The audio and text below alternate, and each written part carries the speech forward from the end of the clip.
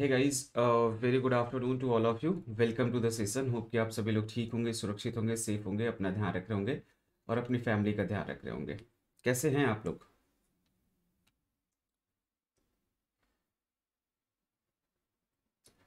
आज हम जुड़े हुए हैं marathon life science topic wise latest P Y Qs के बारे में। तो सी एस आई आर ने नोटिफिकेशन जारी कर ही दिया है, ये तो आप लोग जान ही रहे होंगे, है ना? और बाकी अभी के लिए हम जुड़े हुए हैं मैराथन सेशन के लिए। अब ये मैराथन सेशन क्या है, इसके लिए भी बात कर लेते हैं। वो कि कुछ लोग जुड़े हुए होंगे। Good, great. चलो, कुछ लोग आ चुके हैं।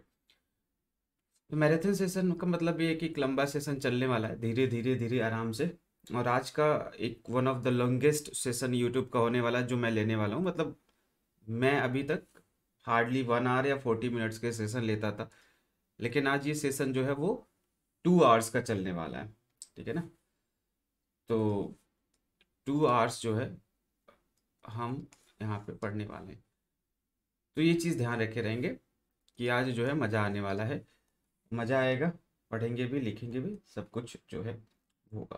फ़िलहाल के लिए जो है चर्चा करने की कोशिश करते हैं कि कई ऐसे लोग हैं जो कि सीख रहे हैं एंजॉय कर रहे हैं। उन्हीं के लिए जो है अन अकेडमी कुछ ऑफर्स भी लेके आया है। उन ऑफर्स में जो है ये एक नोटिफिकेशन स्पेशल ऑफ़र है। नोटिफिकेशन स्पेशल ऑफ़र का मतलब क्या है कि कल नोटिफिकेशन जारी किया सीएसआईआर ने, ये जारी किया कि सीएसआईआर जो जून का एग्ज़ाम था 2023 का, जून 2023 का और साथ में आपके दिसंबर 2022 का ये दोनों ही मर्ज होने वाले हैं। ये दोनों ही जो है वो मर्ज होने वाले हैं। तो ये इन्होंने जो है आ, मर्ज करने का नोटिफिकेशन जारी किया है। उसी चीज़ पे जो है यहाँ पे एक ऑफ़र अन अकेडमी लेके आया कि अगर आप सब्सक्रिप्शन लेना चाहते पढ़ना चाहते तो सिक्स मंथ के लिए जो है you can subscribe Unacademy and आपको ट्वेंटी परसेंट डिस्काउंट का जो है ऑफ़र मिल रहा है। रेफरल कोड आपको पता ही है क्या यूज़ करना है। रेफरल कोड जो यूज़ करना है, वो है विरेन लाइव ठीक है ना? विरेन लाइव जो है, वो आप रेफरल कोड यूज़ करेंगे। इस रेफरल कोड से जो है आपको टेन परसेंट डिस्काउंट या जो अभी ट्वेंटी परसेंट डिस्काउंट जो है वो मिल रहा है, वो मिल जाएगा। याद रहे कि ये ऑफ़र सिर्फ़ जो है, वो आज ही के दिन वैलिड है, बारह जनवरी के लिए। तो अगर आप आज ही सब्सक्राइब करेंगे, तभी इस इस ऑफ़र का फ़ायदा ले सकते हैं। अगर अदरवाइज़ जो है, ये ऑफ़र मे भी फ्यूचर में अवेलेबल ना रहे। एक और चीज़ है जो आपको बतानी थी कि फिफ्टीन ऑफ़ जनवरी को 12 पीएम पे जो है, एक ऑल इंडिया लेवल पे स्कॉलरशिप टेस्ट हो रहा है अन अकेडमी लेके आ रहा है। इस स्कॉलरशिप टेस्ट में आप कुछ रैंक अगर अचीव करते हैं तो उनके बीच में आ सकते हैं। और आसान है लाना, ऐसा नहीं है कि डिफ़िकल्ट है। अगर आपका रैंक वन टू फाइव है तो लगभग हंड्रेड परसेंट स्कॉलरशिप आप वो कर सकते सिक्स टू ट्वेंटी फाइव है तो लगभग लगभग फिफ्टी परसेंट स्कॉलरशिप ले सकते and twenty six to hundred है तो थर्टी परसेंट स्कॉलरशिप मिलेगा और one hundred to five hundred है तो ट्वेंटी फाइव परसेंट स्कॉलरशिप मतलब ये टेस्ट देके आपको अगर आप लगभग लगभग C S I R life science की बात करें तो उसमें इतने रैंक लाने की कैपेबिलिटी तो आपकी होगी। आपको ट्वेंटी फाइव परसेंट स्कॉलरशिप मिल रहा है। अब स्कॉलरशिप क्या है कि जो भी सब्सक्रिप्शन अमाउंट होता है, उसी के बेसिस पे जो है, वो स्कॉलरशिप दिया जाता है। तो ये चीज़ बहुत अच्छी अपॉर्चुनिटी है कि इस टेस्ट में पार्टिसिपेट करके जो है, आप अपने स्कॉलरशिप को एक्सेस कर सकते हैं और ताकि फ्यूचर में जो भी कोई सब्सक्रिप्शन लेना भी है तो उस स्कॉलरशिप की मदद से जो है, आप सब्सक्रिप्शन ले सकते हैं। ठीक है? तो ये आपके लिए अच्छा रहेगा। अगर आप इनमें आते हैं तो आपको ये डिस्काउंट जो है, या ये स्कॉलरशिप जो है, वो आपको मिलता है। इन सब के अलावा बाकी रेस्ट इन्फॉर्मेशन तो आप जानते ही हैं कि हमारे गुरु जी जो भी बोल सकते हैं कि ये जो नादान सा बालक दिखता है आपको, इसका नाम वीरेंद्र सिंह है अकेडमी पे पढ़ाता है। और लाइट प्लस और iconic subscription Unacademy offer करता है। हाँ और, इन सभी चीज़ों के लिए जो है, आपको करना क्या है? अन अकेडमी पे आना है सब्सक्राइब करना है, चाहे आइकॉनिक चाहे प्लस और उसमें एक्सेस करनी है चीज़ें। कई सारे प्लस कोर्सेज है जो प्रोफ़ाइल पे चल रहे हैं। आपके कई सारे प्लस कोर्सेज में लेके आया हूँ। उनमें से यूनिट नंबर वन बायोकेमिस्ट्री है सेल बायोलॉजी है, ये सब चीज़ें अभी चल रही हैं और कुछ आने वाले हैं। And lots of batch courses भी है जहाँ पे जिनके साथ जुड़ने के लिए आपको referral code Viren live use करना है। एंड फ्री क्लासेस के लिए आपको मेरी प्रोफ़ाइल पे जो है जुड़ जाना है। एंड टेलीग्राम तो आप जानते हैं भाई साहब। टेलीग्राम जो है, जिस पे मैं जुड़ता रहता हूँ और कई सारे नोटिफिकेशंस आपको देता रहता हूँ, जब भी कोई क्लास या लिंक होने वाली होती है तो। Sir how to participate in scholarship test एक लिंक जो है, वो आपको मिल जाएगा, जाएँगे तो वहाँ से जो है, उस लिंक के थ्रू जो है, वो एक्सेस कर सकते हैं स्कॉलरशिप का। ठीक है? लिंक आपको मेरे मेरे टेलीग्राम चैनल पे मिल जाएगा। इस टेलीग्राम चैनल पे जुड़ जाइएगा। यहाँ से लिंक के थ्रू जो है, आप इनरोल कर लेंगे। ये टेलीग्राम चैनल नाम देख रहे हैं Unacademy underscore Virendra Singh ये ब्लैक टी शर्ट में बालक जो है खड़ा है है ना? लेट्स क्रैकेट के नाम से पीछे लगा हुआ है। इसका चेहरा कुछ कुछ मेरे से मिलता जुलता है। तो इसी चैनल को सब्सक्राइब करने लाए क्योंकि कई सारे फेक चैनल्स भी हैं। तो इस चैनल को सब्सक्राइब कर लेना। इसमें जो है आपको लिंक्स एंड चीज़ें जो है वो आप बता दी जाएँगे। ठीक है ना? सर यूट्यूब पे रोज़ कितने बजे होगी? जनरली मैं चार बजे ही क्लास लेता हूँ। आज तीन बजे ले रहा हूँ मैं। बट मोस्टली जो है फाइव क्योंकि आज मैराथन लेना है, और मैराथन का मतलब आपको पता ही है कि मैराथन का मतलब जो है, कुल मिला जुला के दो घंटे में आज क्लास लेने वाला हूँ। टू आवर्स ठीक है? तो अब इसलिए जो है, आप आसानी से मेरे साथ अब आपको बैठे रहना है। Three to five P M questions करने हैं, जो कि लेटेस्ट पी वाई क्यू से आए हुए ठीक है? ये क्लासेस रेगुलरली ही होती है। चार बजे मैं ले ही रहा हूँ। आप देख ही रहे होंगे। तो आज के क्लास में जो है बेसिकली कुछ क्वेश्चंस को देखने वाले हैं। चलिए शुरुआत करने की कोशिश करते हैं देर किस बात की।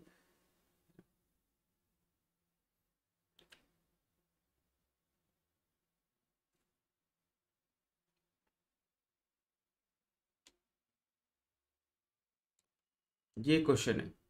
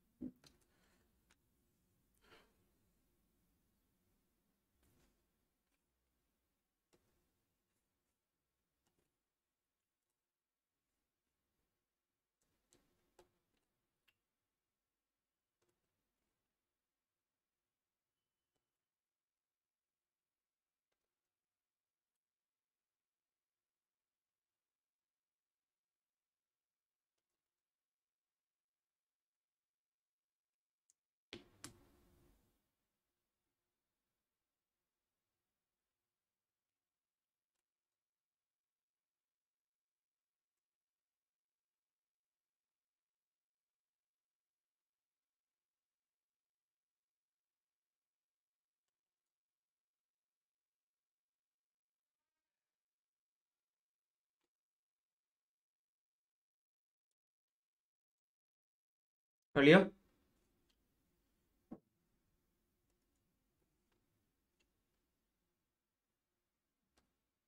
चलो तो कुछ लोग बोल रहे हैं ए, कुछ लोग बोल रहे हैं वन, टू, थ्री, फोर। कौन सा ऑप्शन आपको लग रहा है इनमें से?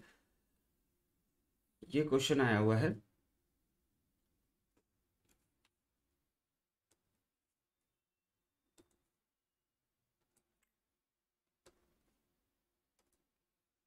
तो इस क्वेश्चन के ऊपर जब बात करते हैं तो आपके पास ए ऑप्शन है। इस ए ऑप्शन के अलावा जो है, इस ए ऑप्शन में क्या है? Topo isomerase one. B option में है टोपो आइसोमरेज टू, ठीक है? और सी ऑप्शन में है polymerase epsilon and polymerase delta अगर आपको बेसिक इंफॉर्मेशन यहाँ पे हो तो एप्साइलन और डेल्टा दो ऐसे चीज़ एप्साइलन है और डेल्टा है। दोनों का अपना एक पर्पज होता है है ना? अगर आप देखेंगे तो इनमें क्या है कि एक लीडिंग स्ट्रैंड के लिए होता है और एक लैगिंग स्ट्रैंड ओका जाकी इनमें मतलब अगर स्पेसिफिकली पूछा जाए तो ठीक है ना? लीडिंग के लिए कौन होता है? Leading strand synthesis leading strand synthesis इसमें अगर हम बात करें तो वो जो होता है आपका एप्साइलेन और लैगिंग के लिए कौन होगा? डेल्टा ठीक है ना? यही होता है? लीडिंग के लिए जो है एप्साइलन होता है और लैगिंग के लिए जो है डेल्टा। अगर मोस्ट कॉमनली पूछा जाए तो वैसे तो एप्साइलन और डेल्टा दोनों को ही सिंथेसाइज करते हैं, लेकिन अगर मोस्ट कॉमनली की बात की जाए तो ये कंडीशन जो है वो आपके लिए पाया जाता है। फ़िलहाल के लिए जब इस चीज़ पे हम चर्चा कर रहे होते तो एप्साइलन लीडिंग स्टैंड सिंथेसिस यानी एप्साइलन का थर्ड जो है वो मैच करेगा यहाँ पे। अब सी का जो है वो आपका सेकंड मैच कर रहा है। तो सी का सेकंड मैच कराइए, इस ऑप्शन में अवेलेबल है, इस ऑप्शन में अवेलेबल है। दो ऑप्शन में सी का सेकंड जो है वो मैच कर रहा है। यहाँ पे फ़र्स्ट है, यहाँ अच्छा यहाँ भी मैच कर रहा है। ठीक है। तो ये भी हो सकता है, ये भी हो सकता है, ये भी हो सकता है थर्ड नहीं हो सकता। डेल्टा जो है, वो आपके ओका जाके फ्रेगमेंट यानी लैगिंग स्ट्रैंड के लिए होते हैं, यानी कि ये जो है फ़र्स्ट आ जाएगा। डी का फ़र्स्ट यहाँ पे है, यहाँ पे है और यहाँ पे भी है। ठीक है। अब नाउ फोर्थ ऑप्शन देखेंगे तो ए का भी थर्ड और बी का भी थर्ड बोल रहा है, ठीक? और यहाँ पे जो है थर्ड और फोर्थ की कहानी चल रही है। टोपो आइसोमरेज वन एक बोला है सिंगल स्टैंड निकिंग बोल रहा है और एक double standard break and ligation इसके नंबर से ही जो है इसमें निकिंग की बात की जाती है। जो टोपो आइसोमरेज वन होता है, वो डबल स्टैंडर्ड डीएनए में जो है, वो सिंगल स्टैंडर्ड बॉन्ड को निक करता है। इसीलिए तो उसका टोपो आइसोमरेज वन का जो लिंकिंग नंबर एक से चेंज करता है, एक को तोड़ के। जबकि टू जो होता है, वो दोनों ही स्ट्रैंड को तोड़ता है और दोनों स्ट्रैंड को तोड़ के जो है, फिर उनको रिलाइगेट करता है। तो बी का जो है, वो थर्ड होगा और ए का फोर्थ होगा। तो ये आंसर हो जाएगा ए का फोर्थ और बी का थर्ड ए ऑप्शन जो है, इसका सही हो जाएगा। ठीक? बात समझ में आ रही? तो आपको अगर बेसिक इंफॉर्मेशन पता हो तो उस बेसिक इंफॉर्मेशन से जो है, ये क्वेश्चन आप सॉल्व कर सकते थे, आसानी से, बिना किसी दिक्कत के। ठीक है? चलिए। तो आज जो है जितने भी क्वेश्चंस हम कर रहे हैं इस सेशन में, आप क्वेश्चंस के नंबर को लिस्ट आउट किए रहिएगा और मुझे लास्ट में बताइएगा कि आपने कितने परसेंटेज क्वेश्चन सही किए। अगर हमने 20 क्वेश्चन ऑप्ट किया है तो 20 में से आपका 10 क्वेश्चन सही था 15 था और कितने गलत किए। ये आज के सेशन के एंड में जो है, आप बताइएगा कि जितने भी क्वेश्चंस हम कर पा रहे हैं इस दो घंटे के सेशंस में, उसके बाद जो है आपका जो रिस्पॉन्स है कि कितने क्वेश्चन आप सही किए हैं, गलत किए वो हम जानना चाहेंगे। फ़िलहाल के लिए अगले प्रश्न की तरफ़ बढ़ते हैं। अगला प्रश्न ये रहा आपका।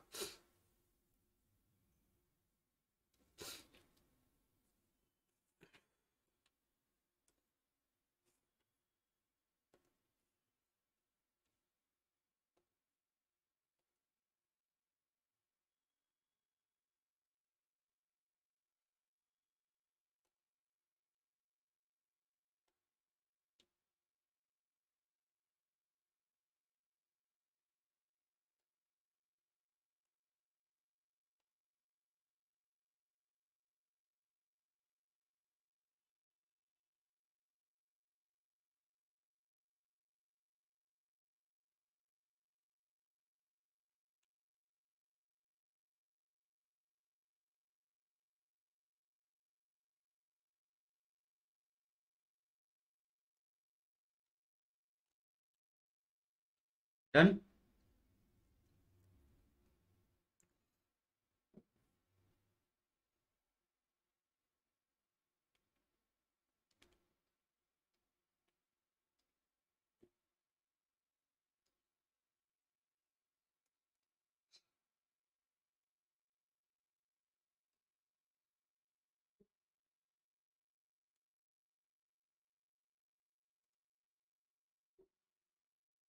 ओके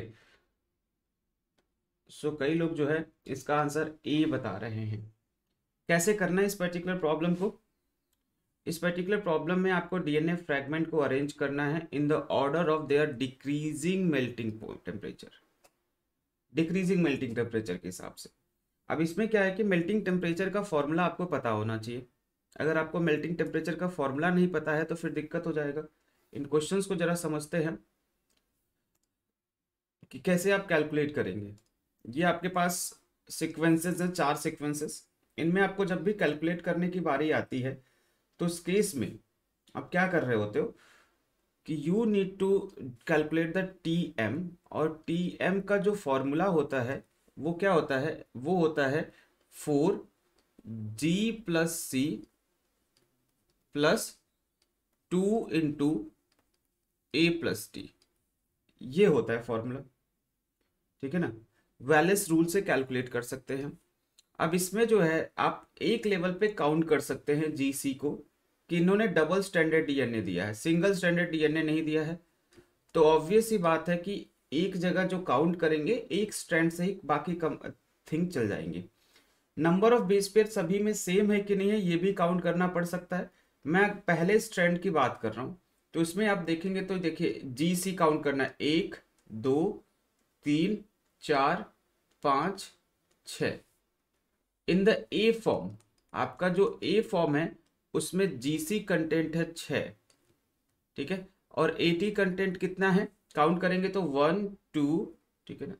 यह है वन फिर two two three four five six seven eight nine ten eleven twelve thirteen fourteen fourteen है। यानी टोटल बीस है। बी ऑप्शन में भी देख सकते हैं ऐसे ही। जब आप बी ऑप्शन में देखोगे तो यहाँ पे क्या है कि जी सी का कंटेंट देखेंगे तो जी का एक, दो, तीन, चार, पाँच, छ, सात, आठ, नौ, दस, ग्यारह, बारह, तेरह, फोर्टीन जी सी कंटेंट है और एटी कंटेंट कितना है? One, two, three, four, five, six six है। ऐसे ही सी वाला देख सकते हैं। सी वाले में देखोगे तो इसमें जीसी कंटेंट देख लो। Two two four, five five, two, seven, two nine, and ten. दस है इसमें, और दस एटी कंटेंट होगा फिर। और डी वाले की बात करें तो डी में कितना है भैया? GC content one, three, four, two, six, three, nine, three, twelve. Twelve GC content और एट जो है वो एटी कंटेंट ये कहानी है। क्योंकि सभी में नंबर ऑफ़ बेस पेयर बराबर है। सारे सीक्वेंसेस में जो total number of base pair है, वो बराबर है। Total number of base pair बराबर है एंड इसी वजह से जो है, आप सिर्फ़ जीसी कंपोनेंट को देख के भी जो है, वो बता सकते थे। अगर बराबर नहीं होता तो आपको हर एक टेम्परेचर हर एक पर्टिकुलर केस में टीएम कैलकुलेट करना पड़ता। आप कर भी सकते यहाँ से जो है आप टीएम कैलकुलेट कर सकते हैं formula wise four into G plus C मतलब यहाँ पे सिक्स इंटू फोर करते प्लस फोर्टीन इंटू टू करते, इसको ऐड करते तो ये वैल्यू टोटल आपको पता चल जाता। सिमिलर केसेस जो है आप यूज़ करते इनके लिए, वही फोर्टीन इंटू फोर ठीक है प्लस सिक्स इंटू टू वैसे यहाँ पे करेंगे तो सभी में टेम्परेचर देखेंगे जिसका जीसी कंटेंट सबसे ज़्यादा होगा उसका एक मेल्टिंग टेम्परेचर सबसे ज़्यादा। क्योंकि number of base pair same होने की वजह से हम यहाँ पे ये चीज़ बोल सकते हैं कि the melting temperature is directly proportional to the GC content GC content के डायरेक्टली प्रोपोर्शनल हो जाएगा। तो यानी कि सबसे ज़्यादा मेल्टिंग टेम्परेचर बी का होगा, है ना? बी का सबसे ज़्यादा होगा, फिर उसके बाद सी का, फिर बी का, फिर डी का, फिर सी का, फिर ए का। ये हो जाएगा। ठीक है? तो इसमें जो है बी डी सी ए पहला ऑप्शन ही जो है आपका आ जा रहा है। तो in this way you can solve the problem ये बहुत ही बेसिक प्रॉब्लम है और बहुत पहले से इस टॉपिक पे क्वेश्चन से आ रहे हैं। ऐसा नहीं कि ये पहला टॉपिक है या अभी ही क्वेश्चन इस टॉपिक से आ रहे हैं। बहुत पहले से इस पे क्वेश्चंस आते रहे हैं। अब ये, अगर आप ऐसे क्वेश्चंस भी सी के एग्ज़ाम में नहीं कर पाएँगे तो फिर लफड़ा है मतलब लफड़ा का मतलब यह है कि सी एस आई फिर आपसे दूर भागता हुआ चला जाएगा। क्योंकि ऐसे क्वेश्चन तो हंड्रेड एंड टेन परसेंट आपसे बनने चाहिए, क्योंकि कॉन्सेप्ट रिपीटेड है। ऐसे क्वेश्चंस को हम बोलते हैं रिपीटेड कॉन्सेप्ट है। ये सब रिपीटेड कॉन्सेप्ट पे आते हैं। अगले की तरफ़ बढ़ने की कोशिश करें हम। नेक्स्ट क्वेश्चन की तरफ़। तो क्या कहता है ये?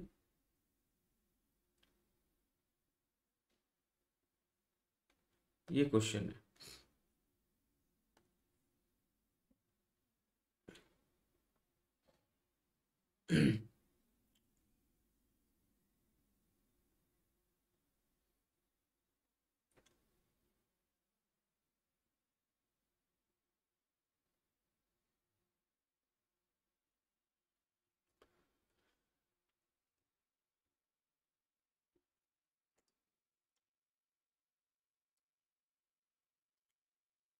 हेलो।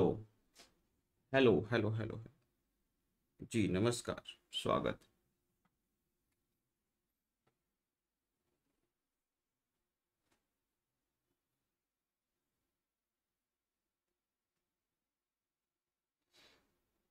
बताइए क्या हो सकता? है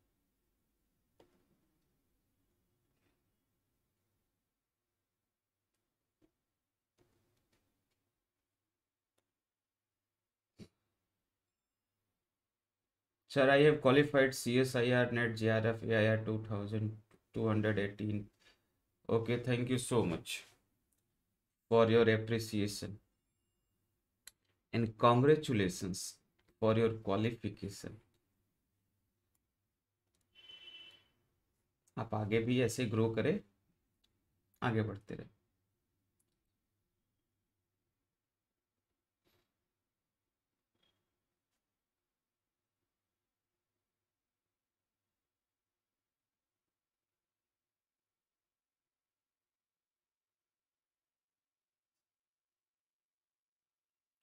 ए ए ए। अब देखो, यहाँ पे सीधी सी कहानी जो चल रही है, वो चल क्या रहा है?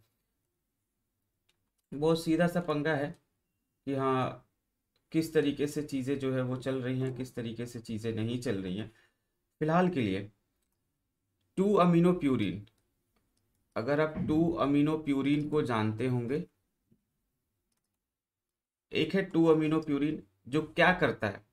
टू अमीनो प्यूरिन जो है वो ट्रांजिशन करने के लिए जाना जाता है। ये जो टू अमीनो प्यूरिन है what like is the mechanism of this particularly two amino purine ये जो पर्टिकुलर म्यूटाजेंस है, ये ट्रांजिशन के लिए जाना जाता है।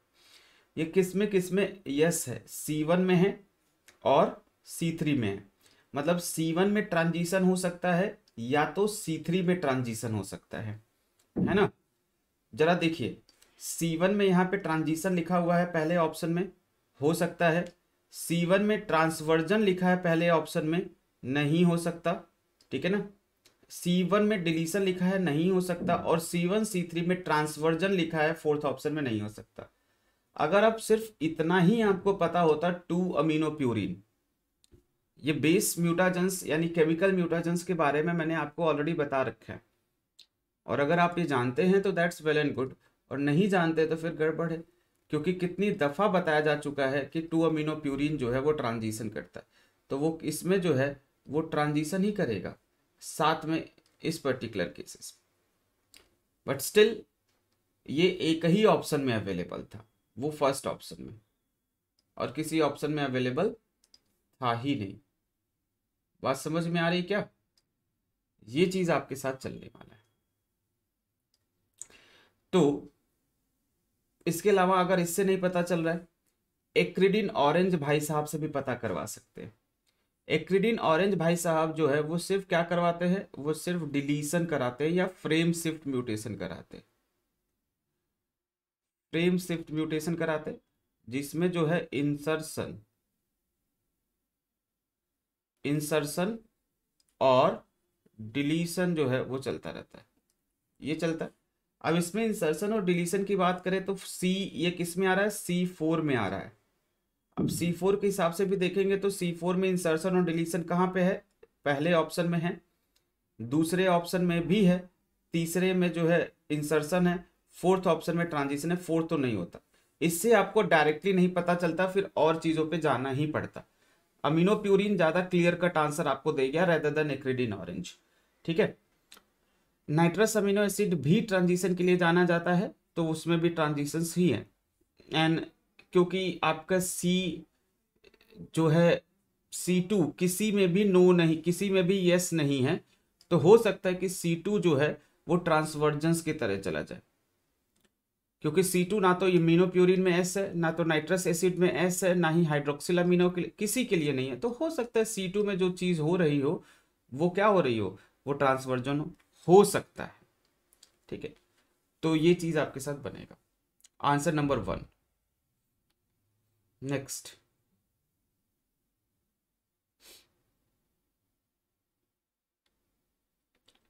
ये क्वेश्चन सॉल्व करिए।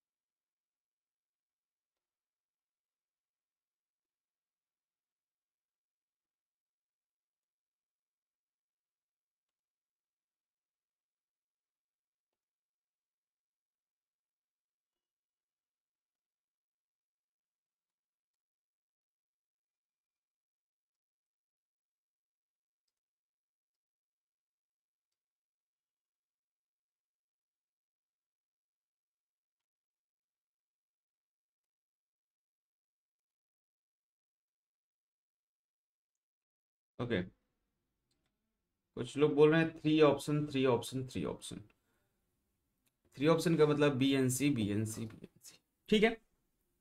देख लेते पहले तो इस क्वेश्चन को आगे बढ़ने से पहले मैं इसको, इस डेटा को आगे को ले चलता हूँ। ठीक है? अब जरा समझिएगा जनाब कि कुछ भी हो, पहले ये चीज़ समझिए कि अगर एक रो है। और रो पे यहाँ पे है ए यहाँ पे है बी और यहाँ पे है सी आप इधर से पढ़ेंगे तो ये ऑर्डर ए बी सी होगा। और इधर से पढ़ेंगे तो ये ऑर्डर जो है वो क्या होगा? सी बी ए होगा। दोनों ही ऑर्डर सेम है। ऑर्डर पढ़ने का जो तरीका है कि ए बी सी है कि सी बी ए है, उसके ऊपर जब हम बात करते हैं either it should be A B C और द सी बी ए दोनों ही जो है वो हो सकते हैं। ठीक है? इसी वजह से जो है हम ये बोल सकते हैं कि भैया ऑर्डर दोनों साइड से जो है वो पॉसिबल है। ठीक? चलिए। अब फ़िलहाल के लिए जो है, इनके अलावा अब मैं इन पे चर्चा करता हूँ। इन्होंने जो है हमें मैक्सिमम कंडीशंस की बात करी है। इसमें मैक्सिमम कंडीशन देखिए 380 है। यानी पेरेंटल होगा। और 350 है इसका जोड़ीदार और नंबर से भी देख सकते हैं और इसके जीनो टाइप से भी देखिए। मैक्सिमम नंबर है सी ए बी सी यानी कि पेरेंटल वन का जो जीनो टाइप है वो स्मॉल ए बी सी है। और इसका जो जोड़ीदार होगा, एक अगर genotype small b small c है तो दूसरा क्या होगा? A plus B plus C plus होगा। सीधी सी बात है। तो ये चीज़ जो है वो आपको पाई जाएगी। एक पेरेंटल वन का और एक पेरेंटल टू का। यानी ये हमारे पास पेरेंटल टू हो गया। ठीक है? अब इस केस में जो है, हमें डबल क्रॉसओवर ढूंढना है मिनिमम मिनिमम जो है हमारे पास यहाँ पे है। यानी ये डबल क्रॉसओवर है। डबल क्रॉसओवर का एक जीनोटाइप अगर ए बी सी प्लस है तो दूसरा जीनोटाइप क्या होगा? A plus B plus C होगा, जो कि यहाँ पे है। देखिए तो एक डबल क्रॉसओवर ये हो गया और दूसरा डबल क्रॉसओवर जो है, वो ये हो गया। तो डबल क्रॉसओवर एक और दो मिल गए। अब इनसे हमें जीन का ऑर्डर निकालना है। जीन का ऑर्डर निकालने के लिए हमें दो पेरेंटल एक पेरेंटल और एक डबल क्रॉसओवर को कंपेयर करना होता है। और कंपेयर करेंगे हम। कंपेयर करेंगे तो उस केस में क्या होगा कि हमारे पास जो दो सीक्वेंसेज या दो जीन पेयर के फॉर्म्स जो हैं, वो मैच होने चाहिए। हम इस पेरेंटल को इसके साथ कंपेयर नहीं कर सकते क्योंकि इनमें जो है सिर्फ़ एक ही मैच हो रहा है, वो है सी प्लस सी प्लस दो मैच नहीं हो रहे हैं। एटलीस्ट दो जीन के जो एलिक फॉर्म है, वो मैच होने चाहिए एटलीस्ट लेकिन यहाँ पे एक ही मैच हो रहा है। इसलिए इसको हम इसके साथ कंपेयर कर सकते हैं कि देखिए, इसमें ए प्लस है, इसमें भी ए प्लस इसमें बी प्लस है, इसमें भी बी प्लस और इसमें सी प्लस इसमें सी तो सी में चेंजेस आ रहे हैं। तो कंपेयर कर लेते हैं इनको और इनको। जब इन दोनों को कंपेयर करेंगे तो पेरेंटल फॉर्म क्या था? पेरेंटल फॉर्म है ए प्लस बी प्लस और सी प्लस जबकि डबल क्रॉसओवर फॉर्म है ए प्लस बी प्लस और सी ये है इन दो, दोनों में जो चेंज है, यानी कि हेट्रोजाइगस जो है, वो सी है। और आपको पता है कि जो भी हेट्रोजाइगस होगा, वो मिडिल में आएगा। यानी जीन ऑर्डर पेरेंटल के हिसाब से देखा जाए तो ए प्लस सी प्लस और बी प्लस होना चाहिए। यानी A C B gene order जो है, वो आपका ए सी बी होना चाहिए। अब इधर से पढ़ेंगे, देखिए, अब इसी चीज़ को पढ़िए। अगर आप लेफ़्ट से राइट जाएँगे तो ए सी बी होगा। और अगर राइट से लेफ़्ट आएँगे तो यही ऑर्डर बी सी ए होगा। ठीक है? अब इन्हीं दोनों चीज़ों से ही आपका ऑर्डर निकल इतने से ही काम बन सकता था। डिस्टेंस कैलकुलेशन की ज़रूरत नहीं थी बट हाँ कैलकुलेट करना मैं सिखाऊँगा। फ़िलहाल के लिए देखिए कि आपका आंसर जो है वो ए बी सी नहीं होगा, वो ए सी बी होगा बी ऑप्शन होगा। यहाँ से ऑप्शंस के हिसाब से देखेंगे तो। और इसको उल्टा जब पढ़ेंगे तो ये ए होगा, ना कि ए होगा। तो बी और सी सही हो सकते हैं। या तो ए और डी सही हो सकते हैं। ठीक है? तो ये दोनों जो है बी और सी आपके सही हो सकते हैं। बी और सी एक ही ऑप्शन में अवेलेबल था। वो अगर देखा जाए, सिर्फ़ अगर आप एक ऑर्डर भी निकाल लेते बी तो वो सिर्फ़ एक ही में अवेलेबल था, वो था थर्ड वाले में। तो आपका थर्ड आंसर जो है वो हो जाता। सिर्फ़ जीन ऑर्डर से ही ये क्वेश्चन पता चल जाता। डिस्टेंस निकालने की ज़रूरत थी नहीं, लेकिन फिर भी आप निकाल सकते हैं। तो चलिए चर्चा करते हैं अब इस चीज़ के लिए कि आपने ये देखा कि जीन ऑर्डर कैसे निकालते हैं। एक डबल क्रॉसओवर और एक पेरेंटल को क्रॉस करके। अब जब अगर ये आपको पता चल ही चुका है तो इसके बाद जो है कहानी क्या चलेगी? इसके बाद का चर्चा चला समझने की कोशिश करिए, ठीक है? तो अब इस केस में जो आपने देखा, इसमें क्या हो जाएगा कि नाउ दो वैल्यूज़ जो नियर बाई होती है, वो डबल क्रॉस ओवर वन और डबल क्रॉस ओवर टू जैसे काम करते हैं। अगर मुझे जो है, देखिएगा ए सी बी जीन का ऑर्डर पता है।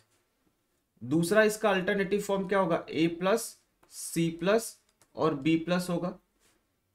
इससे सिंगल क्रॉसओवर प्रोडक्ट क्या बनेगा? सिंगल क्रॉसओवर प्रोडक्ट का मतलब है कि ए वाला पोर्शन एज इट इज़ रहे सी और बी वाला बदल जाए।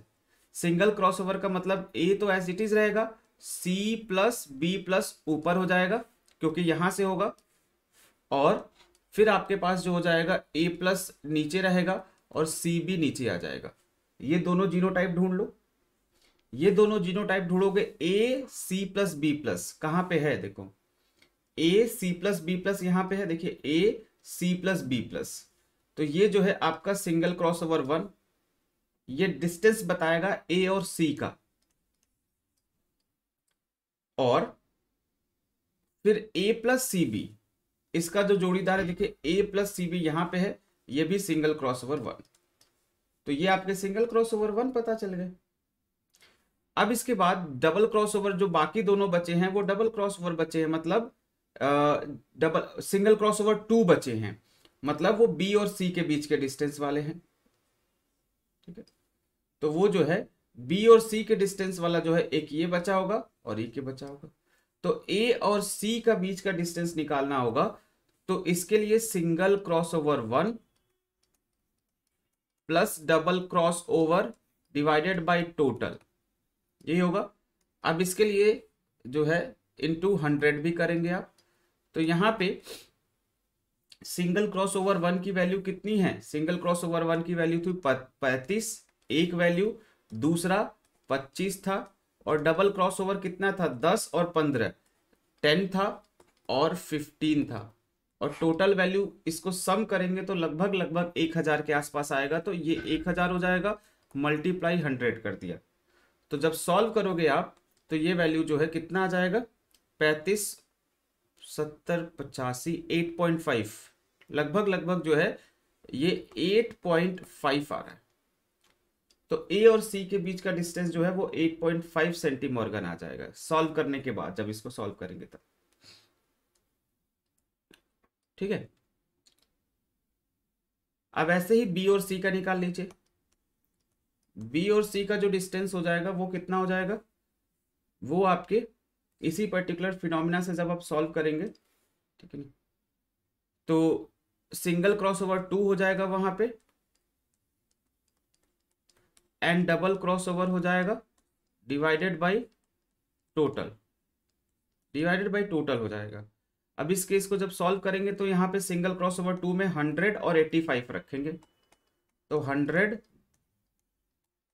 plus eighty five plus ten plus fifteen divided by total ठीक है ना?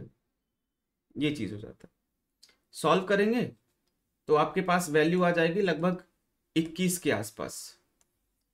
यही चीज़ आपको यहाँ पे मिलेगी भी। देखो ए और सी के बीच का डिस्टेंस 8.5 और बी और सी के बीच का डिस्टेंस 21.5 ये मिल जाए। अब ये क्वेश्चन उसी को पता चल सकता है जिसने कभी लिंकेज और मैपिंग जो है पढ़ा हो, है ना? जिसने कभी भी लिंकेज और मैपिंग अगर पढ़ा होगा, तभी उससे ये क्वेश्चन बनने वाला है। और इस इस क्वेश्चन का जो बेस है जो तरीका है, एक ही तरीका है और उस तरीके से जो है आप हर क्वेश्चन को सॉल्व कर सकते हैं। मतलब ऐसा नहीं कि हर क्वेश्चन में अलग अलग लॉजिक लग रहा है अलग अलग चीज़। एक ही लॉजिक एक ही चीज़ है। और उसके थ्रू जो है आप इसके हर क्वेश्चन को सॉल्व कर सकते हैं। लेकिन फिर भी लोगों से नहीं बनता, क्योंकि लोग कभी पढ़ते नहीं। ये एक ऐसा क्वेश्चन होता है कि अगर आप इसको पढ़ लो और समझ लो तो आपको श्योर शॉर्ट ठीक है ना श्योर शॉर्ट जो है वो चार नंबर मिल जाएगा। अगर आपने इसको कर लिया, अगर इसके क्वेश्चन आ गए तो कहीं जा नहीं सकते, क्योंकि क्वेश्चन का तरीका क्वेश्चन की चीज़ें जो है, वो बहुत ही कॉमन है, बहुत ही सिंपल सा तरीका है। लेकिन यस थोड़ा सा लेंदी है मतलब थोड़ा सा दिमाग लगाओगे तो उसको शॉर्ट कर सकते हो बट जनरली थोड़ा सा लेंदी हो जाता है। इसकी वजह से जो है प्रॉब्लम प्रॉब्लम्स जो है वो आपको क्रिएट लगता है कि हाँ यार ये करेंगे, पहले पेरेंटल निकालो, फिर डबल क्रॉस ओवर निकालो, फिर उसके बाद ऑर्डर निकालो, ठीक है? एंड उसके बाद ऑर्डर के बाद फिर distance single crossover one निकालो, फिर सिंगल क्रॉस ओवर टू निकालो, फिर डिस्टेंस कैलकुलेट करो, तब जाके फाइनल आंसर पे पहुंचोगे। कहीं कहीं पे इतने से ही सॉल्व ज़रूर हो जाता है और कहीं कहीं पे यहाँ तक जाना पड़ता है। लेकिन हाँ ये तरीका यही होता है। और जब आप ये करोगे तो डेफिनेटली सॉल्व कर लोगे सर डबल क्रॉसओवर क्या होता है? अब इसके लिए बेटा बेसिक्स ऑफ़ जेनेटिक्स पढ़िए। गलती से एक बालक है, वीरेंद्र सिंह अन अकेडमी पर पढ़ाता है।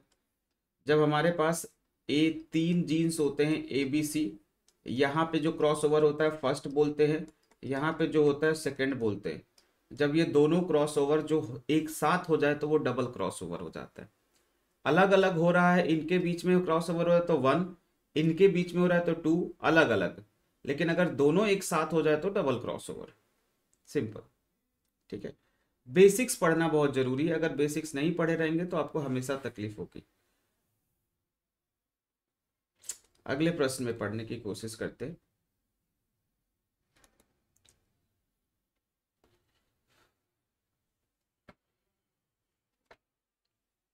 Basics, formula.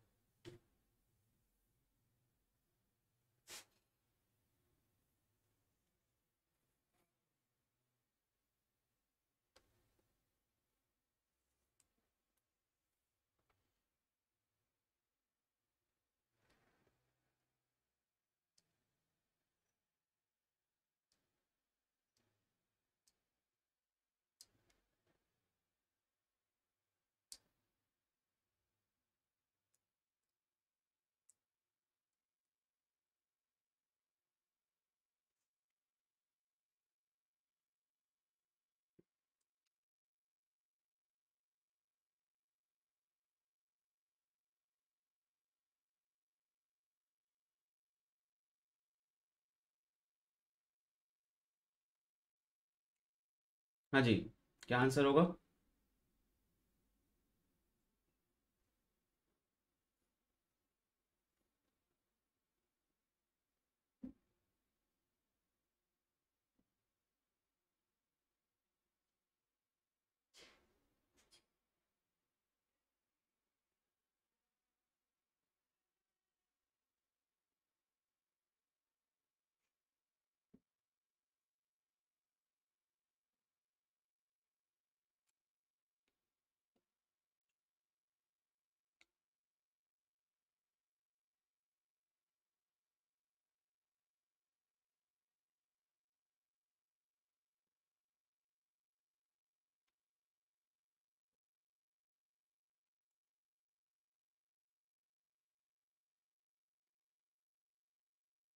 Wheat C option third option okay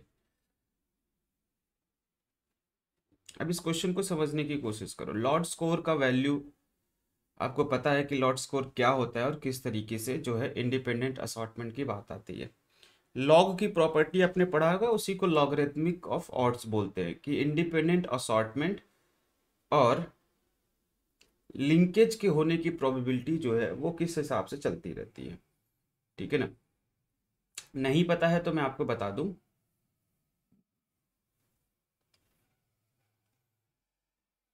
अलग अलग जीन पेयर्स है। बेसिक्स क्या कहता है? देखिए, हमारे दो जीन्स है। हो सकता है कि कोई भी जो क्रोमोजोम्स आप पढ़ते हैं, है ना? कुछ इस तरीके से। अब इस क्रोमोजोम में जो है जीन्स प्रेजेंट होते हैं। जीन पेयर, कोई भी जीन पेयर जो है वो हो सकता है। अब जो जीन पेयर आप पढ़ते मान लीजिए ए है और मान लीजिए बी है, ये दोनों के दोनों जीन पेयर्स जो हैं, वो आपस में कितनी दूरी पे हैं, है ना?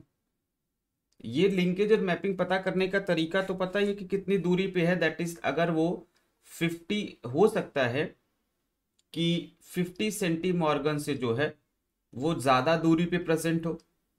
अगर ग्रेटर देन 50 सेंटी मॉर्गन है तो इसका मतलब है कि वो जो है इंडी, ग्रेटर देन या बराबर हो तो इसका मतलब है कि वो जो है इंडिपेंडेंट असॉर्टमेंट शो करेंगे।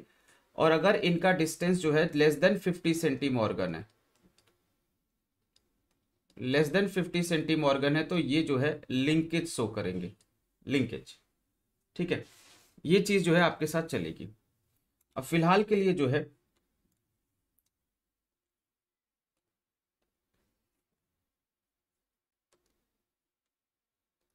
अब इस चीज़ को समझने की कोशिश करिएगा कि यहाँ पे लिंकेज जो है, वो चल रहा था। तो ये डिस्टेंस से पता चल जाता है कि हाँ कब कौन सा डिस्टेंस है, उससे लिंकेज क्या होगा। लेकिन प्रॉब्लम ये होता है कि लिंकेज के केस में, या इंडिपेंडेंट के शॉर्टमेंट के केस में जो है डिस्टेंस से पता चल जाएगा, लेकिन लॉर्ड स्कोर डिस्टेंस से पता करने वाला नहीं होता। वो जो है, वो लॉगरिथम ऑफ़ ऑर्ड्स का एक फॉर्मूला होता है कि लिंकेज जो होता है linkage is ten to power LOD score जो जो भी लॉर्ड स्कोर होता है ten to power LOD score into independent assortment ये होता है कि जितना भी लॉर्ड स्कोर होगा, वो टेन के पावर में होगा और उतना ही इंडिपेंडेंट असॉटमेंट के गुना होगा।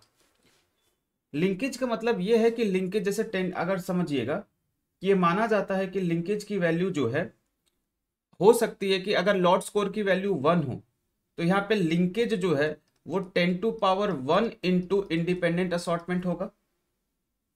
यहाँ पे जो है linkage ten to power two into independent assortment है, ठीक है ना?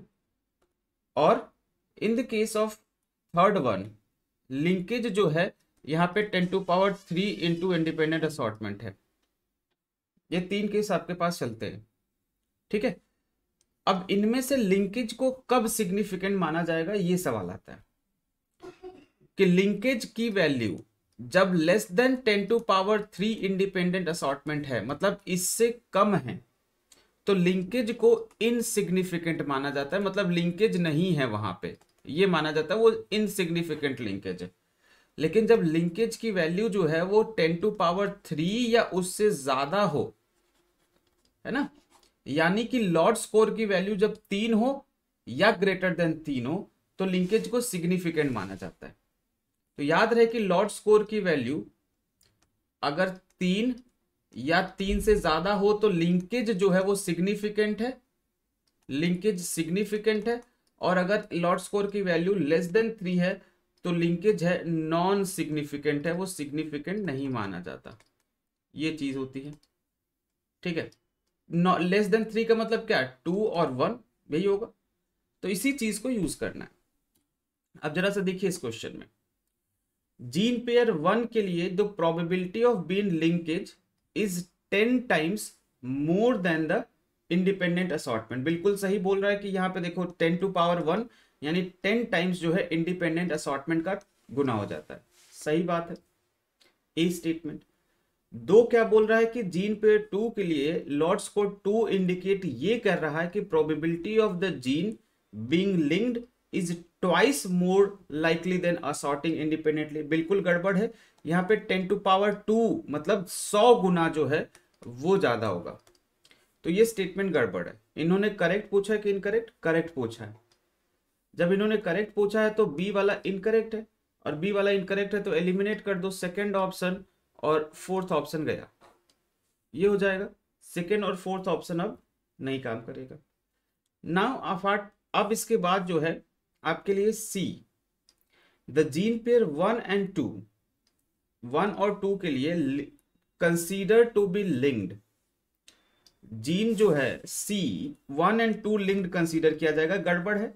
क्यों गड़बड़ है? ये लिंक्ड कंसीडर क्यों नहीं कर सकते? क्योंकि सिग्निफिकेंट है ही नहीं। नॉन सिग्निफिकेंट है। हम इनको लिंक्ड कंसीडर कर ही नहीं सकते तो ये स्टेटमेंट गड़बड़ है। और तीन जो है, वो इंडिपेंडेंट असॉर्टमेंट जो है, वो कर रहा है, ये भी गड़बड़ है। पहला और दूसरा इंडिपेंडेंट असॉर्टमेंट जो है वो करेगा, जबकि तीसरा जो है वो लिंक्ड की काम करेगा। तो ये जो है सी गड़बड़ है डी सही है। तो ए के साथ डी आ जाएगा थर्ड वन ठीक है? ये कहानी चलने वाली है। तो ऐसे क्वेश्चंस आपके साथ आते रहते हैं। इस ऐसे क्वेश्चन भी अगर आप गलत कर रहे छोड़ रहे तो फिर गड़बड़ है। ठीक है चलो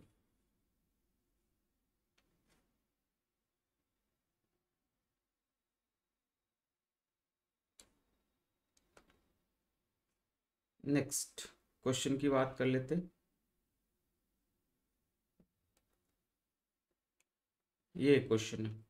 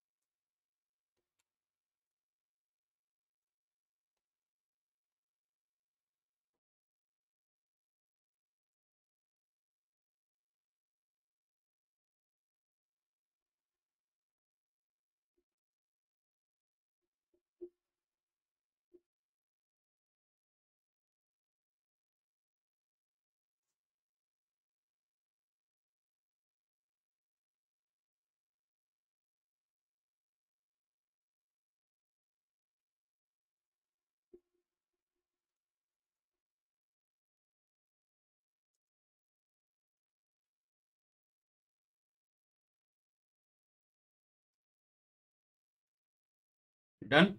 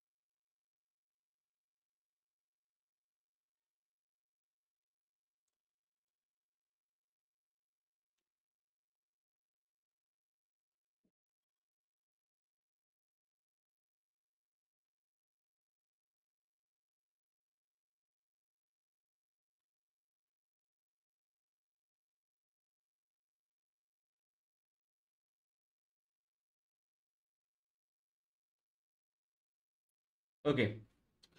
क्या कहना चाह रहा है इस पर्टिकुलर प्रॉब्लम में? आपको समझना पड़ेगा। अच्छा क्वेश्चन है कि in a mammal coat colour mammal coat colour is governed by gene B mammal का जो कोट कलर है ना, वो जीन बी से गवर्न कर रहा है। मैं इस क्वेश्चन को जो है, वो अगले स्लाइड में ले चलता हूँ सो दैट आपको समझने में आसान ठीक है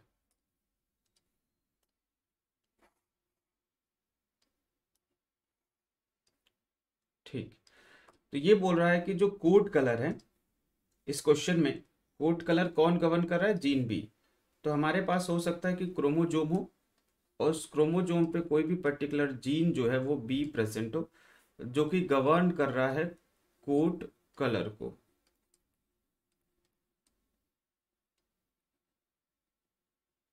ठीक है? The coat colour is either black और ब्राउन अब इन्होंने बोला था कोट कलर या तो ब्लैक हो सकता है, या तो ब्राउन हो सकता है। या तो ब्लैक होगा, या तो ब्राउन होगा। Depending upon the genotype capital B और स्मॉल बी मतलब कैपिटल बी जो है, वो आपका ब्लैक है, और कैपिटल बी स्मॉल बी जो है, वो आपका ब्राउन है। लेकिन ये नहीं पता कि कौन किसका है? कैपिटल बी ब्लैक का है कि ब्राउन का है? या capital B small b black का है कि ब्राउन का? ये नहीं पता। ये कुछ भी हो सकता है, क्योंकि इट इज़ नॉट नोन कि which of these genotype let the black और ब्राउन ये नहीं पता है कि बीबी है ब्लैक का या कैपिटल बी स्मॉल बी है। अब इसके आगे बोल रहा है कि the small b small b genotype result in albino अगर स्मॉल बी स्मॉल बी है तो क्या हो रहा है? अल्बाइनो हो रहा है। हमारे पास यही तीन जीनोटाइप होते हैं, दो में कंफ्यूजन है, एक का क्लियर कट पता है। Further the genotype small c small c suppresses the expression of coat colour resulting in albino इन्होंने बोला कि अगर स्मॉल सी स्मॉल सी होगा तो ये सप्रेस कर देता है कोट कलर को। और कोट कलर सप्रेस कर देगा तो वो जीन जो है वो अल्बाइनो हो जाएगा। मतलब चाहे कोई भी हो, वो अल्बाइनो बनाने की टेंडेंसी पे रखेगा सप्रेस करेगा। ब्लैक और ब्राउन डेवलप नहीं करेगा। स्मॉल से स्मॉल सी। तो उसके बाद की कहानी है पे। स्मॉल से स्मॉल सी एक तरीके का इनिबिटर है। इसके बाद बोल रहे हैं कि एन अल्बाइनो मेल मतलब एक albino male was crossed with a brown female एक अल्बाइनो मेल था मतलब कि स्मॉल बी स्मॉल बी रहा होगा, और एक ब्राउन फीमेल अब यहाँ पे कैपिटल बी भी हो सकता कैपिटल बी कैपिटल बी हो सकता है, या capital B small b we don't know ये मेल था और ये फीमेल थी। जब इनको क्रॉस कराया गया तो रिजल्टेंट प्रोजेनी जो था, उस, वो आइदर ब्लैक और ब्राउन कोट का था। या तो ब्लैक था, या तो ब्राउन था। ठीक है? From this observation it can be inferred that genotypes of the male and female अब देखिए, बहुत सीधी सी बात समझिएगा कि फीमेल जो थी, वो ब्राउन थी, है ना? और प्रोजेनी में ब्लैक और ब्राउन दोनों डेवलप हो रहा है। मेल अल्बाइनो था, ये बात बिल्कुल क्लियर है। अब इस चीज़ के दो पॉसिबिलिटीज बनते हैं। पहली चीज़ कि अगर मेल जो है, वो small b small b fix है अल्बाइनो फिक्स है। फीमेल को अगर मैं ब्राउन को कैपिटल बी कैपिटल बी लेके चलता, अगर क्या लेके चलता मैं? कैपिटल बी कैपिटल बी लेके चलता तो यहाँ पे सिर्फ़ एक ही जीनोटाइप बनने के चांसेस थे। और वो कौन सा जीनोटाइप बनता? कैपिटल बी स्मॉल बी क्योंकि अगर ये कैपिटल बी कैपिटल बी होता और ये आपका स्मॉल बी स्मॉल बी होता तो ये दोनों क्या करते? ये आपके कैपिटल बी स्मॉल बी ही बनाते, और यानी कि सिर्फ़ एक ही तरीके का जीनोटाइप आने के चांसेस ठीक है? अब यहाँ पे क्या है कि दूसरा, कि हो सकता है कि आपके पास कैपिटल बी स्मॉल बी हो। तो कैपिटल बी स्मॉल बी अगर है तो भी अगर कैपिटल बी स्मॉल बी को स्मॉल बी स्मॉल बी से क्रॉस कराओगे तो आपके पास एक ही, यही जीनोटाइप बने ना, एक कैपिटल बी स्मॉल बी और एक स्मॉल बी स्मॉल बी इसमें भी एक ही जीनोटाइप बन रहा है। दोनों ही केस ये बन रहे बात समझ में आ रही क्या? Are you getting my point कुछ कुछ, थोड़ा थोड़ा। एक बार फिर समझिएगा इस चीज़ को। क्या बन रहा है यहाँ पे? कि इस पूरे केस में इन्होंने कोट कलर की बात करी और ब्राउन एल्बाइनो वाले कंडीशंस की बात करी। अब इस चीज़ में फिर से समझना कि जब एक मेल था और मेल का एल्बाइनो है है ना? और फीमेल जो है वो ब्राउन है और फीमेल का जीनोटाइप नहीं पता। इनसे जो प्रोजेनी बन रही है वो ब्राउन भी बन रहा है और ब्लैक भी बन रहा है। अब पूरा जेनेटिक क्रॉस अगर बेसिकली देखोगे तो ब्राउन बनना और ब्लैक बनने का मतलब यहाँ पे कैपिटल बी बी भी बन रहा है और कैपिटल बी स्मॉल बी भी बन रहा है। एक बात सीधी सी फिक्स है यहाँ पे। ठीक है ना? तो अब कैपिटल बी बी और कैपिटल बी स्मॉल बी बनने का मतलब यहाँ पे है कि ऑब्वियस सी बात है कि इन केसेस में ब्राउन और एल्बाइनो के केसेस में जो है, क्या हो सकता है? एक जो प्रोडक्ट होगा कैपिटल बी कैपिटल बी हो सकता है और capital B cap small b होगा। इन्हीं को क्रॉस कराओगे, तभी तो आपके पास एक कैपिटल बी कैपिटल बी और कैपिटल बी स्मॉल बी बनेगा। ये चांस सीधा सीधा है। ये तभी पॉसिबल है जब आप इन दोनों का क्रॉस करा रहे हो। है ना? दोनों में ही इसका मतलब है कि कम से कम एक कैपिटल बी कैपिटल बी इसमें से एक तो कैपिटल बी होगा ही होगा। किसी एक में से, अगर हम इसमें बात करें तो किसी एक में ऐसा होगा कि कैपिटल बी कैपिटल बी ही होगा, जो हर बार इसमें भी कैपिटल बी लेके आ रहा है और इसमें भी कैपिटल बी लेके आ रहा है। और एक के पास कैपिटल बी होगा और स्मॉल बी होगा। लेकिन अगर कैपिटल बी कैपिटल बी है या कैपिटल बी स्मॉल बी है तो ये अल्बाइनो कैसे? ये अल्बाइनो का तो इन्होंने बोला था स्मॉल बी स्मॉल बी है, लेकिन वो अल्बाइनो कैसे हो रहा? है तो अब ये चीज़ समझने के लिए आपको दूसरी लाइन समझनी पड़ेगी कि इन्होंने स्मॉल सी स्मॉल सी का भी तो कॉन्सेप्ट बताया। उन्होंने बताया कि अगर स्मॉल सी स्मॉल सी है तो सप्रेस कर दे रहा है कोट कलर को और अल्बाइनो कलर है। अगर यानी कि मैं कैपिटल बी स्मॉल बी को स्मॉल सी स्मॉल सी के साथ रख दूँ तो वो अल्बाइनो हो जाएगा। समझ में आ रही बात? या कैपिटल बी कैपिटल बी को स्मॉल सी स्मॉल सी के साथ रख दूँ तो अल्बाइनो हो जाएगा। तो ये चीज़ कि एक के साथ स्मॉल सी स्मॉल सी होगा। और दूसरे के पास जो है, वो कैपिटल सी कैपिटल सी होगा, सीधी सी बात है। क्यों कैपिटल सी कैपिटल सी होगा दूसरे के पास? क्योंकि अगर इसके पास स्मॉल सी स्मॉल सी है और दूसरे के पास कैपिटल सी कैपिटल सी नहीं हुआ तो नीचे जाके कहीं ना कहीं स्मॉल सी बना देगा। दोनों, अगर एक स्मॉल सी इस पेरेंट के पास और एक स्मॉल सी इस पेरेंट के पास तो नीचे स्मॉल से स्मॉल सी तो वो फिर से अल्बाइनो बना देगा, चाहे कोई भी बी का फिनोटाइप जीनोटाइप हो। इसी वजह से यहाँ पे एक कैपिटल सी और एक स्मॉल सी होना ज़रूरी है सो so दैट कि प्रोडक्ट में जो है, कोई भी particular case not to suppress the case एक तरीका यह है कि इस तरीके से आप आगे बढ़ रहे हो और फिर डिसाइड कर पा रहे हो कि हाँ किस तरीके से चीज़ें चल रही हैं। दूसरा तरीका, कुछ इसी तरीके से प्रोसीड करते हैं जब आप ऑप्शंस के थ्रू मूव करते हो। इस ऑप्शंस को थ्रू मूव करेंगे तो आपको देखो, दिखाई देगा कि यहाँ पे हो सकता है कि देखिए कैपिटल बी कैपिटल बी के साथ स्मॉल सी स्मॉल सी है। ये एक अल्बाइनो हो सकता है। ये एक अल्बाइनो होगा क्योंकि स्मॉल सी स्मॉल सी है और ये ब्राउन हो सकता है, हो सकता है। सिमिलरली यहाँ पे देखिए कि इस केस में ये अल्बाइनो होगा और ये भी ब्राउन हो सकता है, लेकिन ये दोनों हेट्रोजाइगस कभी नहीं हो सकते। पता है क्यों नहीं हो सकते? क्योंकि इन दोनों को क्रॉस कराओगे तो एक genotype small b small b बनेगा और स्मॉल बी स्मॉल बी जो है, वो आपका अल्बाइनो हो जाएगा। ठीक है? तो इस वजह से ये जीनोटाइप नहीं हो सकता। यानी कि बी जीन का जीनोटाइप आपका कैपिटल बी स्मॉल बी और कैपिटल बी कैपिटल बी होगा और सी जीन का जो जीनोटाइप होगा, वो C C cap small c small c and capital C capital C होगा। वही चीज़ आपको ढूंढना है। और वो एक ही ऑप्शन में आपको मिलेगा। क्योंकि इससे आपको मिलेगा नीचे कैपिटल बी कैपिटल बी और कैपिटल बी, स्मॉल बी और इनसे जो मिलेगा वो कैपिटल सी, स्मॉल सी मिलेगा, जो कभी भी हेट्रोजाइगस, हमेशा हेट्रोजाइगस रहेगा तो अल्बाइनो नहीं देगा। ये कंडीशन आपको लेके चलेगा। तो ये एक अच्छा क्वेश्चन था, जिस जो कि आप देख पा रहे सिर्फ़ पहले ऑप्शन में। इसमें देखिए, ये अपने आप में अल्बाइनो है ठीक है? और ये कैपिटल बी स्मॉल इसमें सिर्फ़ एक ही जीनोटाइप बन पाएगा, वो है capital B small b capital B capital B इस बी को देखते हुए जीनोटाइप नहीं बना सकते आप। सिमिलर केस यहाँ पे भी होगा तो ये भी नहीं हो सकता। ठीक है?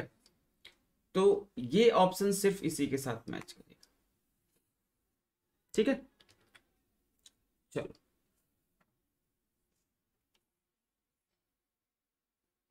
अगले प्रश्न की तरफ़ अग्रसर होते हैं। एक ये क्वेश्चन है। क्या कहता है ये क्वेश्चन कि maximum frequency of recombination that can occur between two loci is वो मैक्सिमम फ्रीक्वेंसी दो लोकाई के बीच में कितना हो सकता है?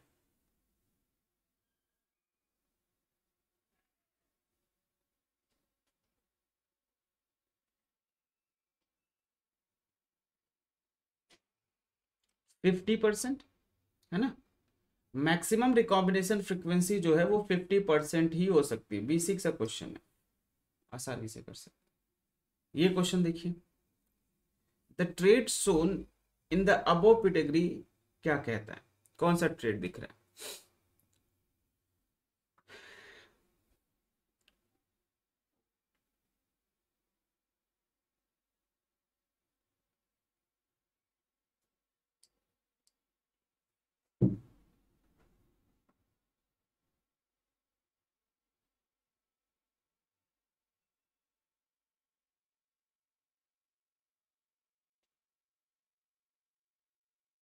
कितने लोग बोल रहे हैं, ये वाई लिंक्ड है।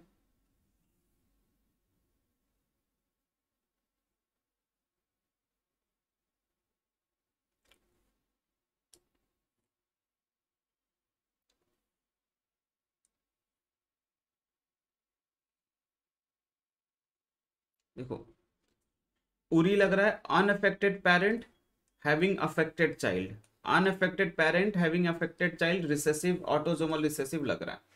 लेकिन बाकी चीज़ें वेरीफाई करो। वाई लिंक्ड वाई लिंक्ड का मतलब क्या होता है? कि फादर टू ऑल सन जितने भी फादर है, उतने ही सारे के सारे जो है, वो all son father to all son देखिए, यहाँ पे सन में कहाँ पे आ गया?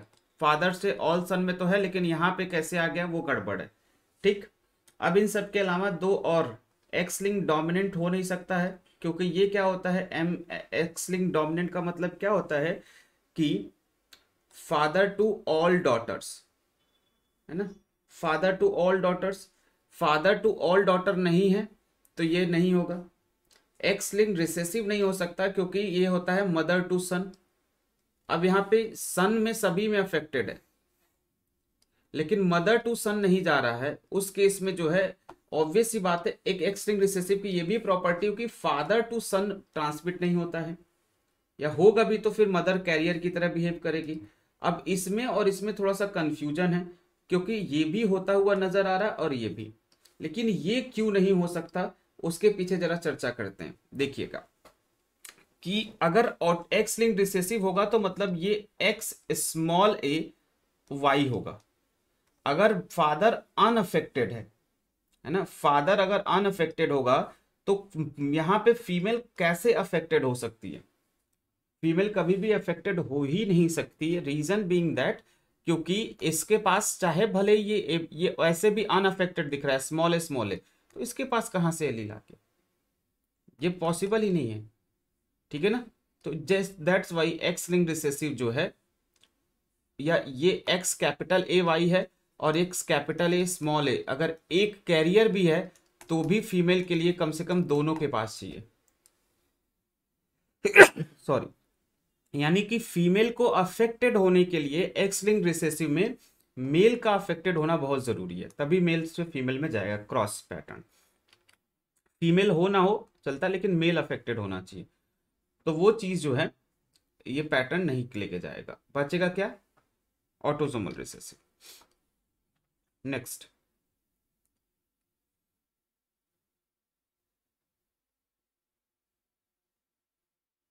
क्या होने वाला है? इस क्वेश्चन का answer in Africa A S represents the carrier of sickle cell anemic carrier if A is allele for normal hemoglobin and S for sickle cell hemoglobin. If the allele S is maintained at higher frequency in some populations, this represents a case of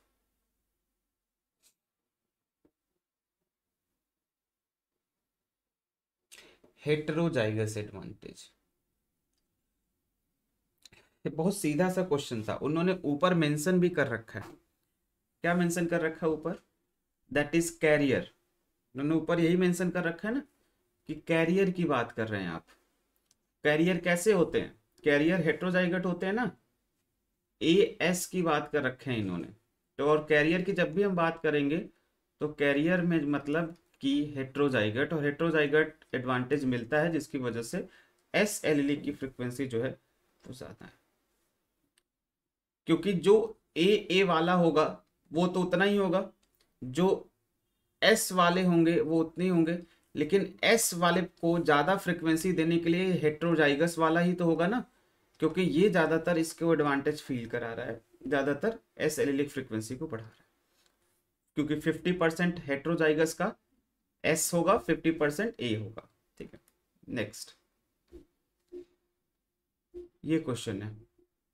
अच्छा question है, आता रहता है, बहुत बार आता रहता है।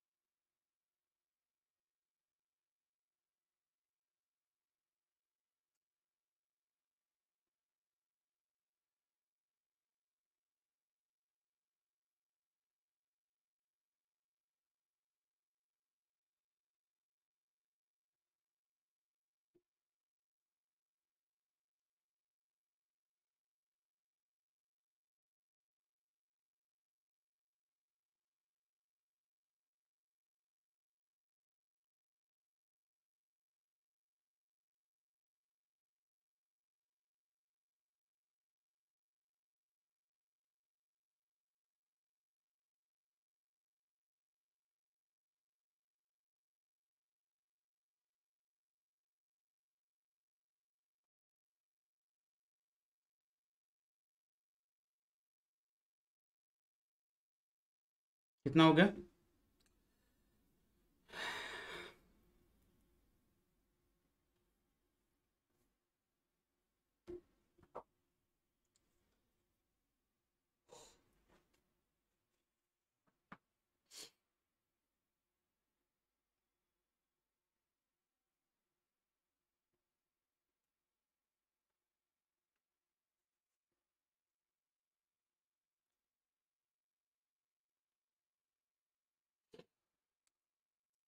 नहीं कर पा रहे कई लोग। अब इसमें क्या कहना चाह रहा है कि यह plant produces disc shaped fruit is crossed with another plant that produces long fruit. एक प्लांट जिस डिस्क से फ्रूट बना रहा था और एक उसको ऐसे प्लांट के साथ क्रॉस किया गया कि जो कि आपको अलग तरीके का फ़ूड बना रहा था all the F one plant gave the disc shaped food जितने भी एफ़ वन प्लांट थे, सभी ने डिस्क सेप्ड फ़ूड जो है बद दिया। जब एफ़ वन प्लांट को इंटर क्रॉस किया गया तो एफ़ टू प्रोजेनी में nine is to sixteen plant जो है, वो डिस्क सेप थे। नाइन बाई सिक्सटीन जो है, वो डिस्क सेप थे। सिक्स बाई सिक्सटीन जो है वो स्फेरिकल थे। एंड वन बाई सिक्सटीन जो है लॉन्ग थे। So which of the following options given the correct genotype of spherical foods obtained in the F two वो करेक्ट जीनोटाइप कौन सा होगा, जिसकी वजह से ये चीज़ मिल रही ठीक है?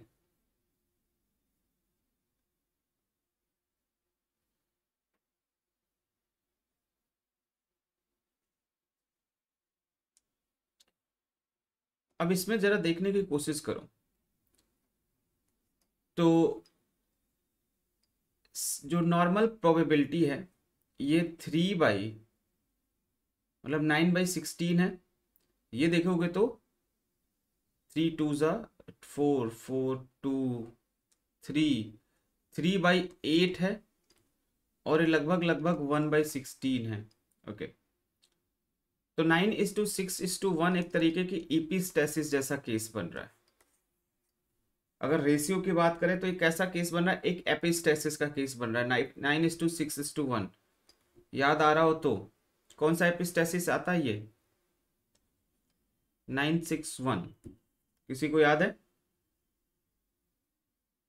पता नहीं, भूल चुके अब देखो, डिस्क शेप बनने का कहीं ना कहीं ये मतलब है कि डिस्क जो है वो एक डोमिनेंट फिनोटाइप है, क्योंकि F1 में सारे के सारे डिस्क शेप्ड बने थे। जब आपने डिस्क शेप्ड को आपने लॉन्ग के साथ किया था तो उसमें जो है डिस्क शेप्ड डोमिनेंट थे, ये बात समझ में आ रही है। और लगभग लगभग नौ जो है, वो डिस्क शेप्ड बन रहे हैं। ठीक है ना? तो इस पूरे के पूरे तरह से डाई डाई, इस केस को समझिएगा, है ना? क्या है ये?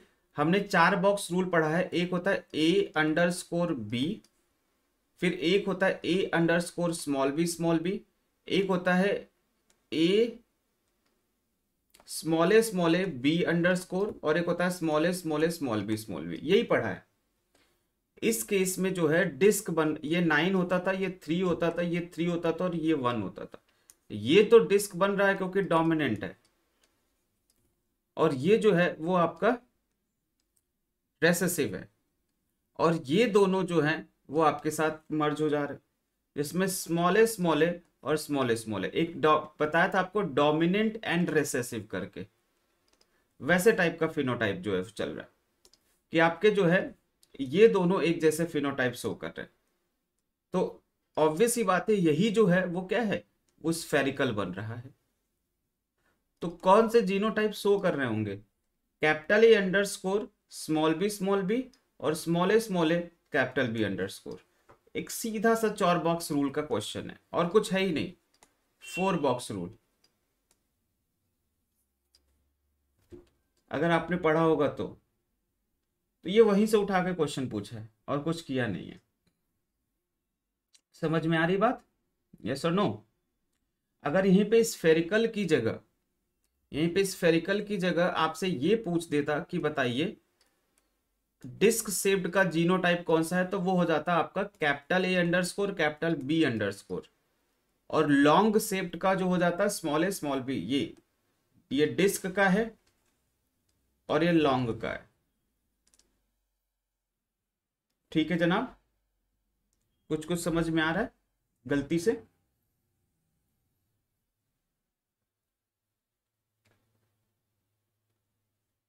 नेक्स्ट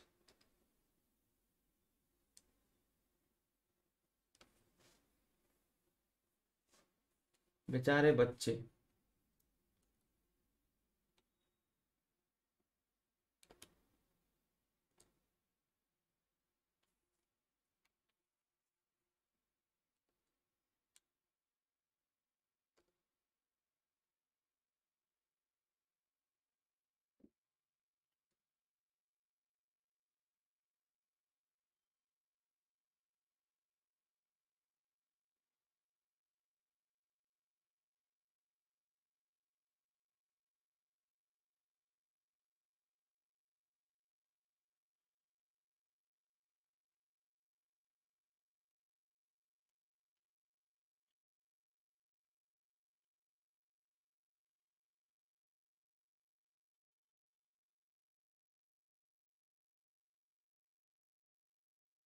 ठीक है?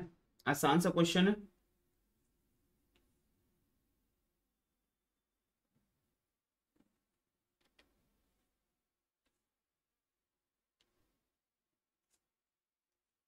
क्या कह रहा है क्वेश्चन ये यही कह रहा है कि जो आपके पास ये पर्टिकुलर प्रोडक्ट्स है, इसमें बताना है।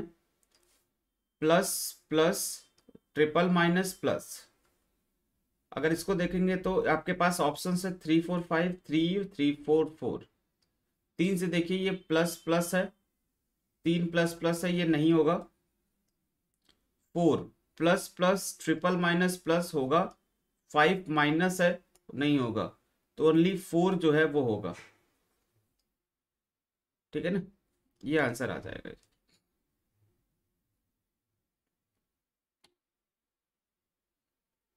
ये क्वेश्चन है। जो अभी जिस तरीके का क्वेश्चन कराया था, उसी से मिलता जुलता प्रॉब्लम है।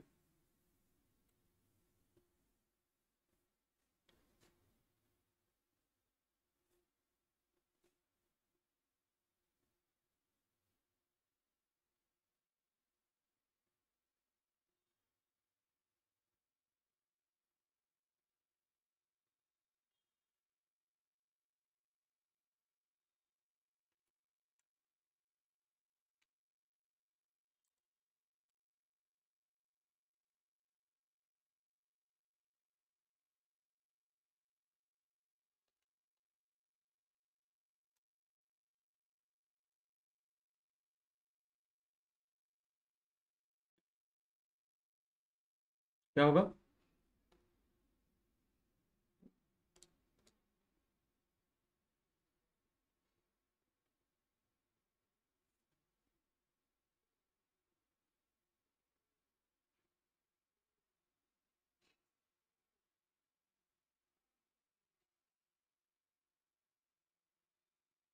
C option C option C option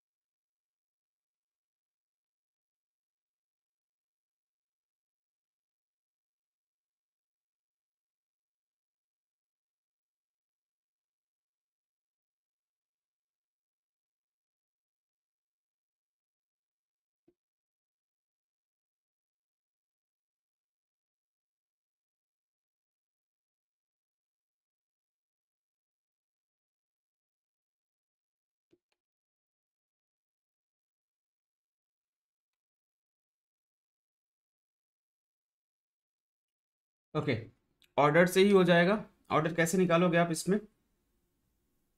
कैसे निकालोगे आप ऑर्डर इसमें? ठीक है, देख लेते फटाफट। कौन है? बुद्धिजीवी इंसान, जो इसमें ऑर्डर निकाल के बता दे।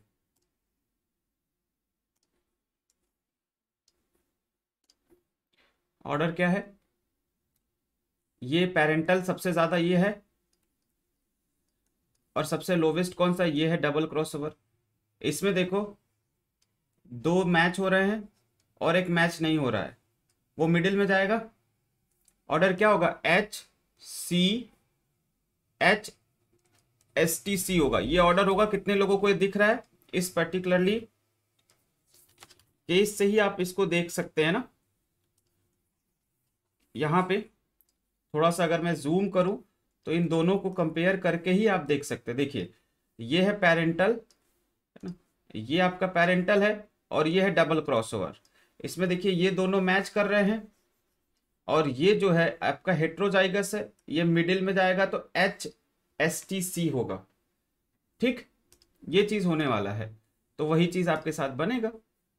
तो चलिए, देखने की कोशिश करते हैं कि अगर order H S T C है ऑर्डर जो है, क्या है? एच एस टी सी है। तो उस केस में ऑर्डर यहाँ पे एच है एस टी सी एक ही ऑप्शन में। इतने से ही आंसर आ जाने वाला था। ठीक है ना?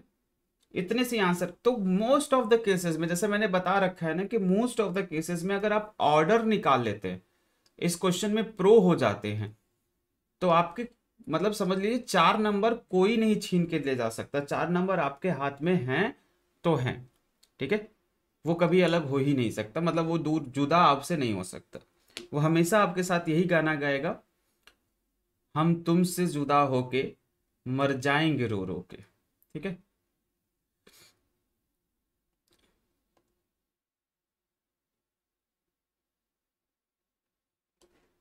कुछ अच्छा क्वेश्चन करते हैं?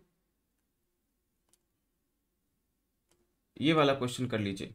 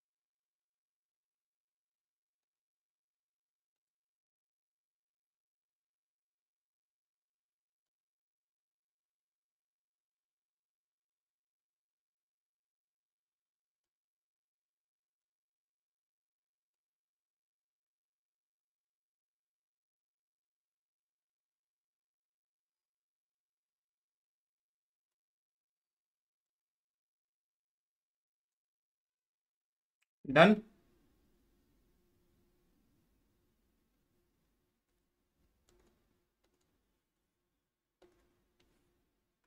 sir B option B option B option क्या बात है? So in some sheeps and horns produced by an autosomal allele H that is dominant in the male and recessive in the female एक allele H है जो mail में dominant और female में recessive है. W H plus individuals are horns W H plus individuals जो है, वो हॉर्नलेस है.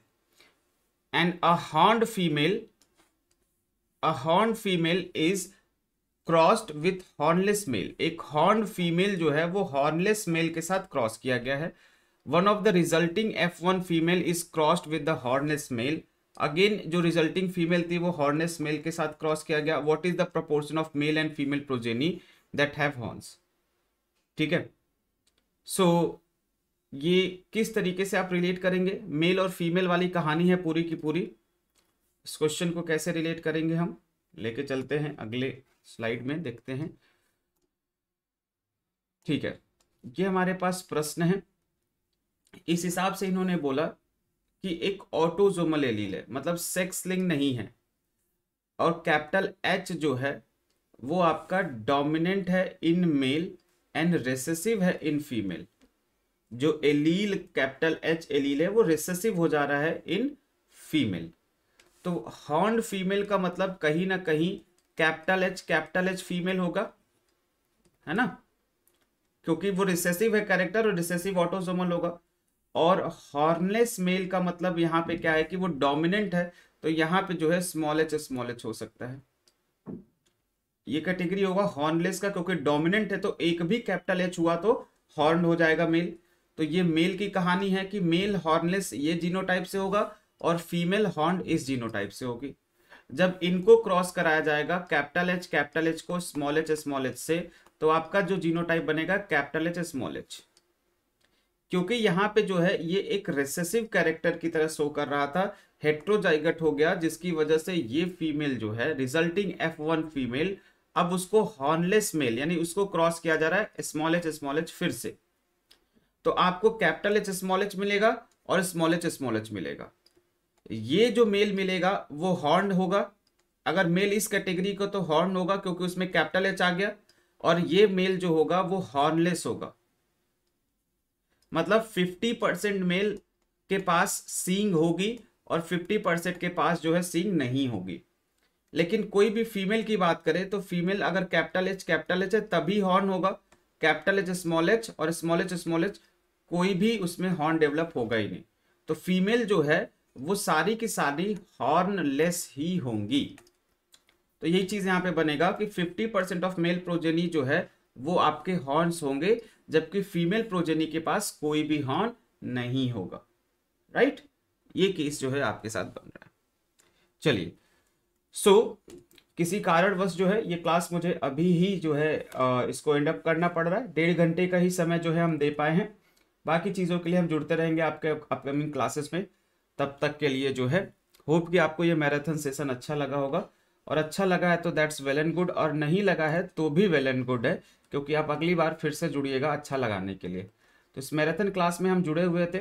आपको एक बार फिर से मैं बता दूँ कि अन लेके आया है एक नोटिफिकेशन ऑफ़र जिसका लास्ट डेट जो है, वो आज ही है, बारह जनवरी। तो सब्सक्राइब करना ना भूलें, बीस परसेंट डिस्काउंट पाने के लिए रेफरल कोड वीरन लाइव का यूज़ करें।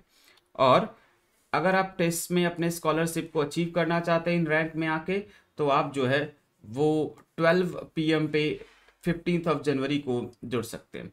आप रैंक वन से फाइव लेके आएँगे तो आपको हंड्रेड परसेंट स्कॉलरशिप के साथ साथ जो है plus one to one live mentorship with top educators भी मिलने वाला है तो ज़रूर जुड़िए यहाँ पे। Once again thank you so much for joining this session will see you in the next video till then bye bye take care and